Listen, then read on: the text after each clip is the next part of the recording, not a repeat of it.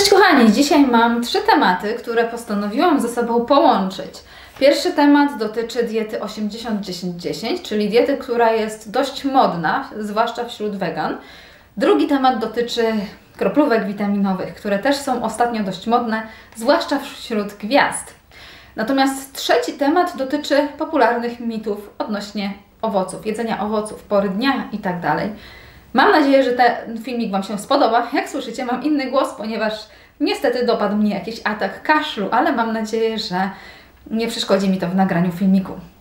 Przede wszystkim chciałabym powiedzieć, że jedzenie owoców i warzyw jest bardzo zdrowe. Już o tym mówiłam któregoś dnia, chyba w filmiku e, odnośnie zakupów z supermarketu. Natomiast czy ta dieta powinna się opierać na samych owocach? Nie jestem pewna. No i właśnie na tym się opiera dieta e, doktora Douglasa Grahama, który to wymyślił tą dietę 80-10-10, czyli 80% diety powinny stanowić węglowodany, 10% e, powinny stanowić tłuszcze i 10% białko. Wymyślił tą dietę, ponieważ stwierdził, że wśród populacji, które odżywiają się samymi, samymi węglowodanami, to znaczy może głównie węglowodanami, jest najmniejsze ryzyko chorób um, takich cywilizacyjnych, no i miał w tym oczywiście bardzo dużo racji. Ale czy ta dieta musi być aż tak skrajna, bo nawet w tych populacjach nie było tak, że oni jedli tak bardzo mało białka czy tłuszczów, jedli troszeczkę więcej w porównaniu do tego, co wymyślił dr Graham. Przede wszystkim chciałabym, żebyście wiedzieli, że dieta doktora Grahama nie ma żadnego poparcia naukowego. Wraz z moimi praktykantkami szukałyśmy artykułów na temat tej diety i nic nie znalazłyśmy. Nie ma żadnego poparcia naukowego. Jest tylko książka doktora Grahama, która jest dość popularna. Nic poza tym. Wiemy, że diety niskotłuszczowe wegańskie, takie jak dieta Ożnisza, czy dieta Selstyna, czy dieta doktora Barnarda, mogą działać bardzo korzystnie w przypadku osób e, chorych, m.in. na niedokrwienną chorobę serca, czy cukrzycę typu drugiego. Ale czy ta dieta musi być aż tak skrajna? Bo w diecie doktora Grahama mamy jeść 80% y, y, kalorii z owoców, głównie słodkich i y, niesłodkich owoców, z tego co tutaj sobie zapisałam. 2 do 6% to mają być warzywa, natomiast od 0 do 8% kapusta, brokuły, orzechy, czyli to wszystko mieszamy w tych 8% diety, ale może być od zera, podkreślam. Więc dieta ta jest bardzo niskotłuszczowa, do tego jeszcze za chwilę wrócę. Czy to musi być takie skrajne, skoro wiemy, że w diecie doktora Ornisza, doktora Eselstyna czy Barnarda były nasiona strączkowe, które to są odpowiedzialne za sytość po posiłku, które dostarczają żelaza, cynku i wielu cennych składników, a zwłaszcza białka. Czy musimy się ich pozbywać z diety bez sensu, tak po prostu, skoro dostarczają tylu składników? Chociaż wiemy też, że nasiona strączkowe pomagają schudnąć, wiemy też, że e, normalizują profil glikemii po posiłku. Nie pozbywałabym się ich tak szybko na korzyść diety e, doktora Grahama, która nie jest przebadana naukowo.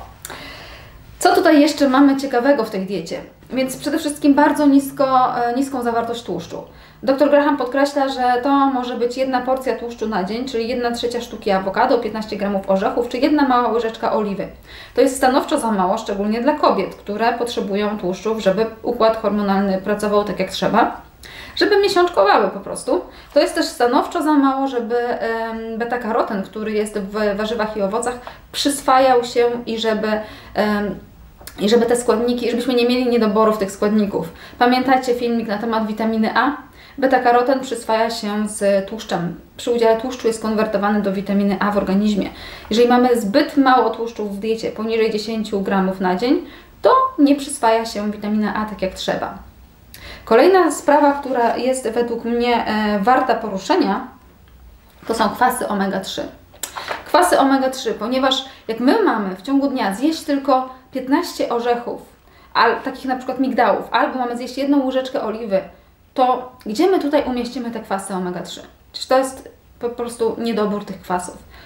Już nie wspominam o suplementacji kwasami omega-3, ponieważ ja osobiście uważam, że jednak opłaca się suplementować, ale oczywiście e, w diecie doktora Grahama nie ma mowy o suplementacji tymi tłuszczami, ale jest mowa na temat kwasów omega-3 pochodzenia roślinnego. No, wiadomo, znajdziemy je w nasionach chia czy jesieniu lnianym, ale za nic, za nic nie dostarczymy sobie odpowiedniej ilości i to nie przekonwertuje się w organizmie tak jak trzeba.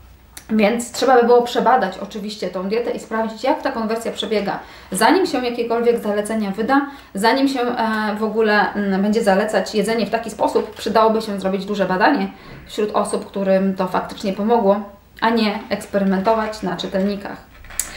Co jest jeszcze ciekawe, dr Graham po, napisał w książce, że ta dieta może być stosowana przez cały czas, czyli to nie ma takiego okresu, że na przykład przez 8 tygodni tak na przykład przy, w przypadku diety dr Dąbrowskiej, to tam jest okres czasu, kiedy można stosować, a później wychodzi z tej diety. Natomiast w przypadku doktora Grahama on napisał, że to jest długowieczność po prostu. Zapewnia ta dieta i że po prostu możemy stosować ją przez cały czas. No tak, niespecjalnie, niespecjalnie mi to się widzi. Zobaczcie, ile trzeba jeść na dzień warzyw i owoców, żeby przy kaloryczności 2000 na dzień, żeby dostarczyć sobie e, takich różnych składników i mieć tą e, właśnie e, te proporcje 80-10-10.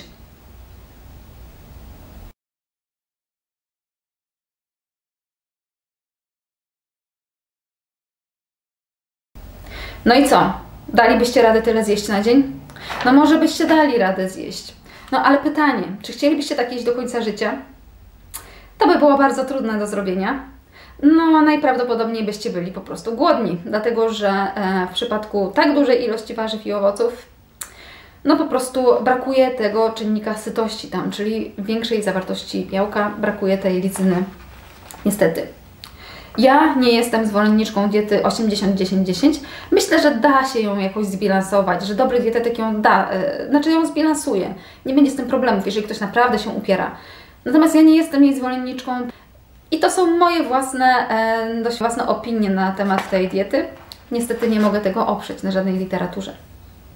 To tyle na temat diety doktora Grahama. Jeszcze tylko zerknę do moich notatek, czy wszystko to teraz powiedziałam. przechodzimy do drugiego tematu, a są to kroplówki witaminowe.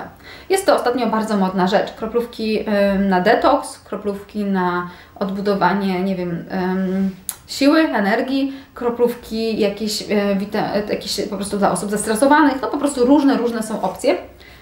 Hmm, przeważnie te wszystkie kroplówki zawierają podobne składniki. Polega to na tym, że po prostu siada się przez 30 minut ktoś wstrzykuje zawartość takiej kroplówki, robi taki wlew do naszego organizmu, do krwi. No i zwolennicy tych kroplówek mówią, że to jest super metoda, dlatego że omija to procesy trawienia, czyli składniki są dostarczane prosto do krwi, no i dzięki temu czujemy przepływ energii, szczególnie po wlewach z witaminą C, która ma działanie antyzapalne. Dobrze, może tak faktycznie być, ale z drugiej strony trzeba wziąć pod uwagę to, że z jakiegoś powodu te procesy regulacji mamy i że musimy przetrawić e, z jakiegoś powodu ten pokarm, żeby nam się składniki przyswoiły. Przede wszystkim nasz organizm może wtedy sobie regulować to, co weźmie, to, co wydali, to, co nie jest potrzebne.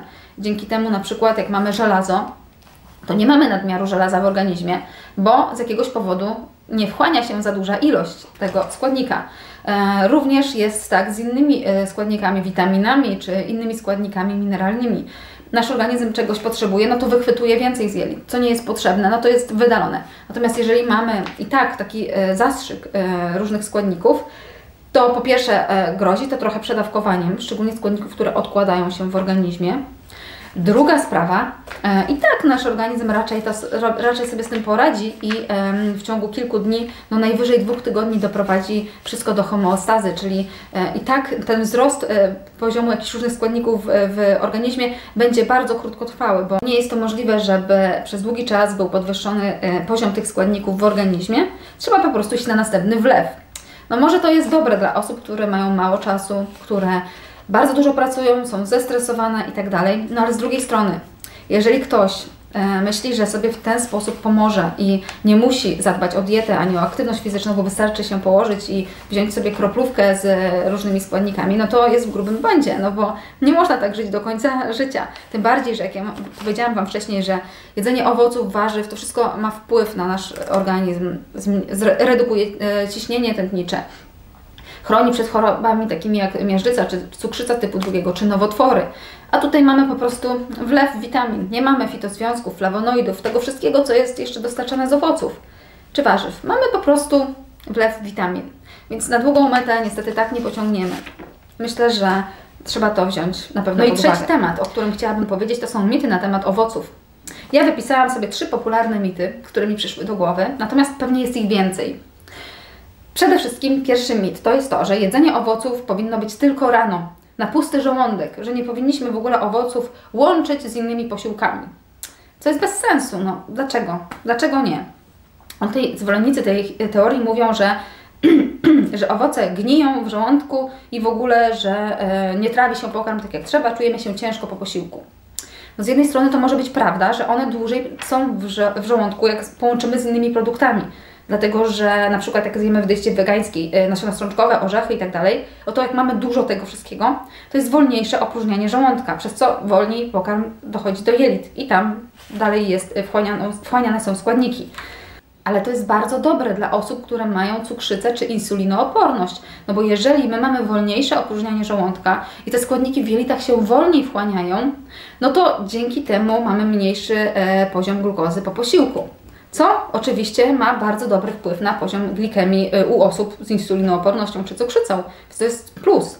No nie jest tak, że oczywiście, że, że owoce gniją e, w żołądku. To jest niemożliwe, żeby owoce gniły w żołądku. No nie może tak być. Tam jest pH bardzo niskie. Nie może być tam też fermentacja, dlatego że fermentacja zachodzi w jelitach. W żołądku co najwyżej Helicobacter pylori może żyć, ale wszelkie inne bakterie żyją w jelitach. No i następny mit. Owoce powinny być jako oddzielny posiłek, nie powinno się łączyć z białkami, z tłuszczami itd., tak dlatego że to już jest bardzo złe dla organizmu. Się wtedy nie wchłaniają pożyteczne związki z owoców.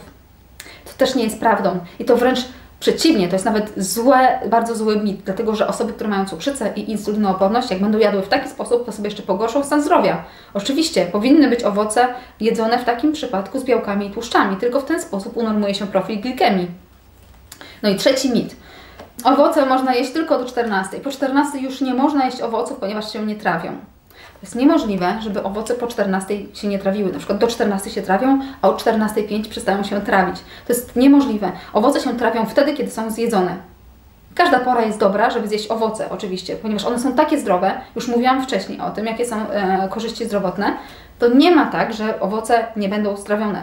Ale myślę, że w każdym z tych mitów jest takie ziarenko prawdy, bo jeżeli na przykład my wieczorem wypijemy koktajl bananowy, no to nie najemy się tym specjalnie. To tak jak w tej diecie doktora Grahama, o której mówiłam wcześniej. Natomiast jak zjemy talerz, nie wiem, kaszy z, ze strączkami czy z jakimiś brokułami i tak dalej, to najemy się. Więc może tutaj o to chodzi żeby nie jeść tuż na noc tych owoców. Ale z drugiej strony, jeżeli ktoś wieczorem je e, owoce albo pije koktajl, a idzie pobiegać, no to wręcz potrzebuje tych węglowodanów, żeby mieć więcej siły do biegania. Więc myślę, żeby, te, żeby jedzenie owoców dostosować do siebie i na pewno nie martwić się tym, że jemy je na noc. Każda pora jest dobra, żeby zjeść owoce. Tym bardziej, że zwolennicy e, niejedzenia owoców wieczorami często sięgają po słodycze wieczorami, po jakieś ciasta, są jakieś imprezy na przykład wieczorami i oczywiście owocu nie, nie, nie, nie, nie, bo po 14 nie można, ale ciasteczko zjem. Więc podsumowując cały ten filmik, chciałabym powiedzieć, że możecie jeść owoce kiedy chcecie.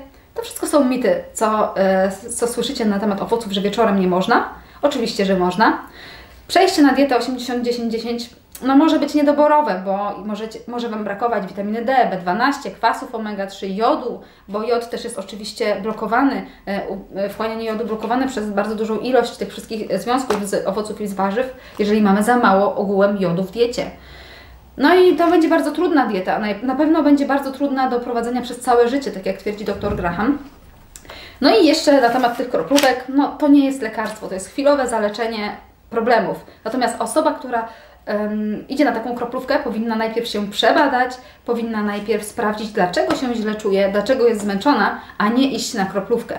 A jak już pójdzie na kroplówkę, to powinna oczywiście trafić w ręce lekarza, a nie jakiegoś znachora, który jej zrobi wlew z witaminy C, bo to jej na pewno pomoże. To tyle, kochani, na dzisiaj. Mam nadzieję, że pomogłam. Na razie i do zobaczenia.